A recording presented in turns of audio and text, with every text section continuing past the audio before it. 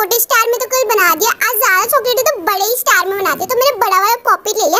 मैंने last time मैंने pop it chocolate try किया था, मगर मेरी बनी ने मेरी पूरी की पूरी टूट गई थी। मैंने सोचा आज ना फिर से ट्राई करते हैं। हमारे पास जो मेल्टेड चॉकलेट थी ना, वो मैंने पूरा पॉपिट स्टार में डाला उसके बाद ना चम्मच की मदद से मतलब पूरे साइड्स में मैंने लगा दिया और एक्स्ट्रा भी डाल दिया ताकि निकालते वक्त आसानी हो जाए। तो आज फिर हमने ना मैजिक पॉप यूज़ किया, मगर आज ना फ्लेवर अलग था। आज मैंने कोको कोला फ्लेवर यूज़ किया। तो उसके बाद फ्रीजर में सेट होने रख दिया।